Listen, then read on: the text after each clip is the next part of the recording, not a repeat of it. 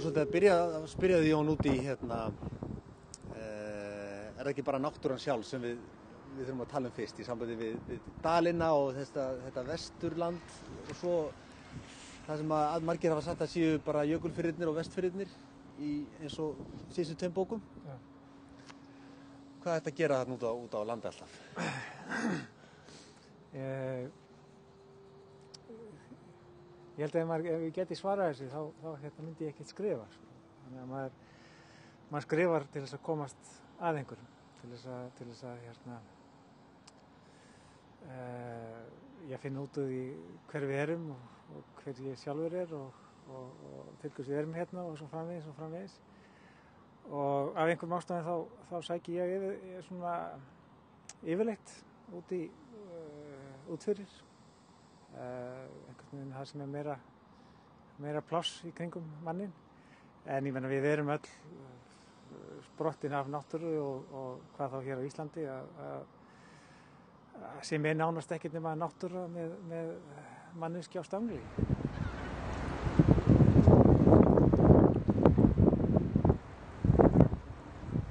maður les bækurnar þá finnst manni maður líka að fá frekar tilkynningu fyrir landinu heldur en þetta sé ykkur ákveðin, ákveðin staður. Eh, Hefur það pyrrað þig að, að fólk skuli staðsetja þetta sem Dalina eða Ísafjörðardjúb eða eitthvað svoleiðis. eða Fara eftir landabrefin og reyna að leita staðina uppi sem slíka. Já, nei, mér er alveg sama hvernig fólk les bækurnar sko. og, og, og, og ég meina að þú getur staðsett þetta sko þessuna sko einhvers vegar í Kyrrahafinu sko, mín vegna uh, því, að, því, að, því að sko hver hver lesandi sko les bók með, með, með hérna samkvæmt sinni reynslu, samkvæmt, samkvæmt, samkvæmt sínum, sínum karakter og, og, og, og hérna ef lesandin kem, einhver lesandi kemst að sko þver ólíkri niðurstöð en ég, það er bara fínt sko, bara, ég er bara gladur sko.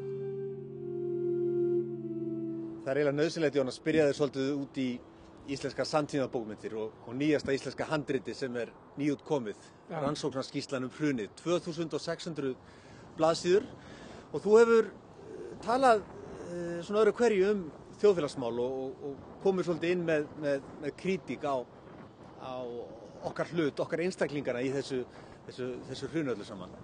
Já, hún er eins og segir sko, hvað, 2600 síður og verður hérna nettsölubókin ár og hérna, ég var að kaupa ein- eintakið, kefti síðast eintakið í, í búðinni Þú er búin að kaupa eintak. Já, já, þannig að, en hérna, uh, svona gerist ekki í, í, hérna í, í, í raunheimi, sko. Þetta er bara sápuópera. Ég meina, þetta, er- þetta er svo, þetta er svo vond, vond handrit og, og, og, og, illa leikið, sko, og, og lýsingar á sumum persónum, sko, að, að það hefði ekki gengið upp í neinni skáldsögu. Það er bara verið of svona ótrúverðugt, sko.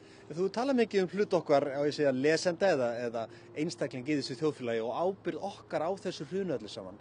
Hver, er- hver er hún? Uh, fyrir utan að vera til. Fyrir utan að vera til? Já. Jú, ég meina uh, sko, uh, sko það eru ákveðni flokkar sem er búin að vera að stýra landinu í 30 ár sjálfstæðarflokkur og framstæðarflokkur og, og sko þeir komast til valda vegna þess að fólk kýst þá sko. og hvað, ár eftir ár hvað eftir annar uh, og svo náttúrulega aðrir sem kannski kjósa á það ekki en, en, en en leifa þeim að hérna þegja mikið sko. horfa mikið á, við horfum mikið á við, við, við, við sko það, það má ekki skipta sér af náungunum hérna á Íslandi uh, ef, þú- kvartar yfir einhverju að þá ertu leiðilegur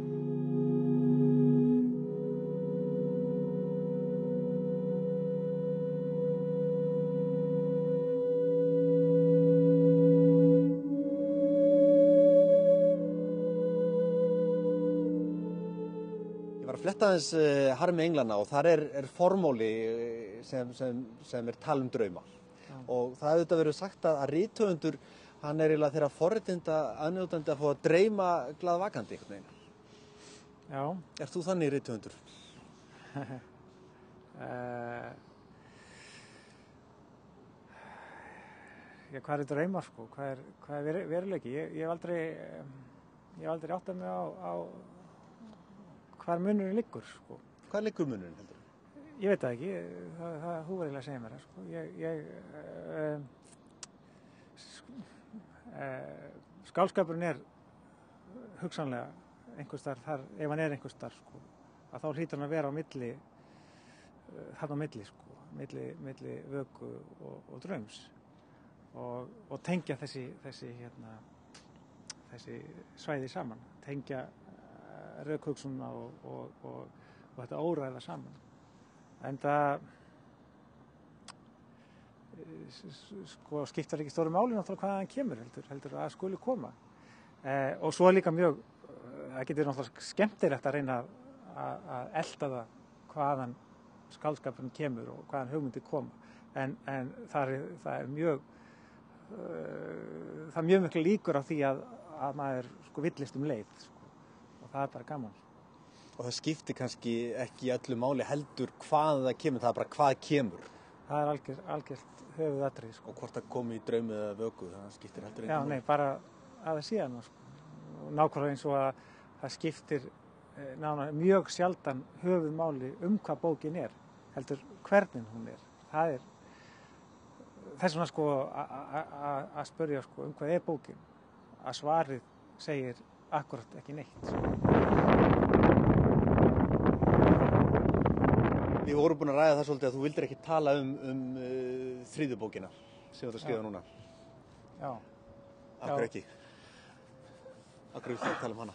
Uh, uh, ég, hef aldrei getað að vilja tala um það sem að, hérna, ég er að vinna ég veit ekki hvort ég hjátrú eða að, að ef maður talar um það sem er ekki tilbúið að þá einhvern veginn hörfa það frá manni sko, eða að maður sé reynilega að síkja það þannig að og, í því örfáðu skipti sem ég hef gert það sko, ég er bara í, í, í hérna, persónlega samræðin við vini eða eitthvað svoleiðis að þá hef ég alltaf síð eftir því og alltaf, alltaf verið sjálfum mig á eftir þannig að, að maður var ekki að tala, maður var að skrifa Og þú hugsaðir þessa stóru sögu í þremur bindum. Var það, var það ákveðið frá upphæði? ég hugsa aldrei, ég skrifa sko. Þú skrifar bara? já, og hérna ég er, ég er mjög einfaldur ma maður, ég er bara smali sko sem að búin týna kindunum og, og, og hérna, skrifa það í stæðin þannig að, að nei, nei, ég hugsa þetta ekkert ég,